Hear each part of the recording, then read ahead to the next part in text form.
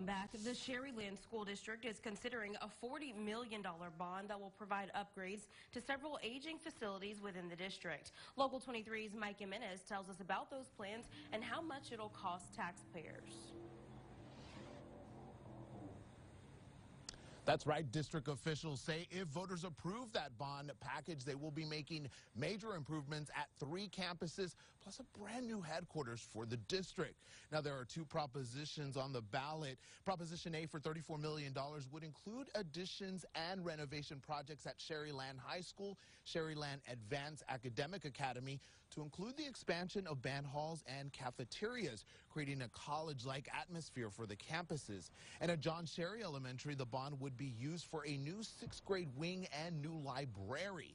Now, Proposition B is a $6 million bond to rebuild a brand new headquarters for the district. Officials say the original central administration building has been condemned by the city of Mission since 2016. This project here, this bond proposal, uh, will address, you know, of course, safety and security measures, 21st century learning spaces, instructional program capacity, and will also provide collaborative space for innovative thinking for students while extending the life of the facility.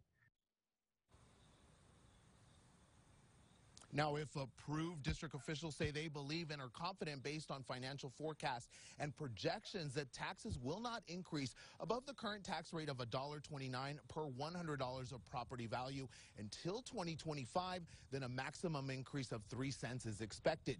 In the past two years, the district has been able to compress the tax rate down almost 9 cents. Officials say that they are in a good financial position to move forward, adding it's an opportunity for taxpayers to be informed voters voters and determine if this is the right time as a community to move forward with the bond package. Now, for more information about the package, you can, of course, head on over to valleycentral.com. Putting local first in mission, uh, Mike Jimenez.